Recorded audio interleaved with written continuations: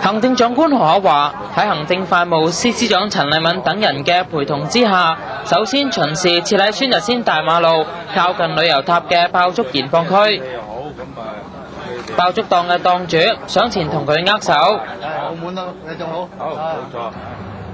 每一年何可華都會玩火箭，有一年佢話玩火箭係希望澳門嘅經濟會好似火箭一樣一飛沖天。今次佢喺澳門燃放區就一口氣燒咗三支，每一支都係一飛沖天。佢又祝願全澳嘅市民喺新嘅一年身體健康、萬事勝意、工作順利，大家都安居樂業。祝全澳市民身體健康、萬事勝意啊！亦都祝你哋工作順利，一年好過一年啊！身體健康。對澳門出年有咩期望啊？咁啊，期望一定希望大家安居樂業，澳門就一年比一年好啦。點完之後褪後少少。上次完澳門區嘅爆竹燃放區之後，可華等人亦都到咗氹仔嘅爆竹燃放區了解情況。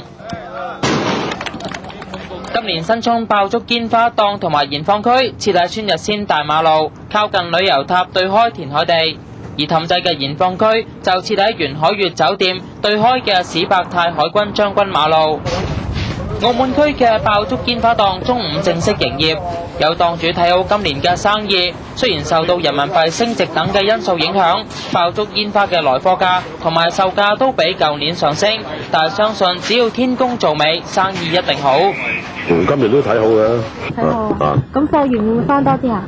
誒，同舊年都都都都差唔多啦。舊年舊年天氣唔係咁好，今年天氣應該好咯。誒、其實就主要係煙花咯。啊，煙花煙花就比較大路啲，多人玩啲咯。啊，遊客啊、市民啊、其他人咩都有。本澳同埋氹仔兩個燃放區將會開放至到年初六嘅凌晨。新春期間，燃放時間由上晝嘅十點鐘至到凌晨兩點。區內設有攤檔同埋指定嘅燃放區。消防局呼籲市民同埋旅客切勿喺非指定嘅區域燃放煙花或者炮竹，以免釀成危險。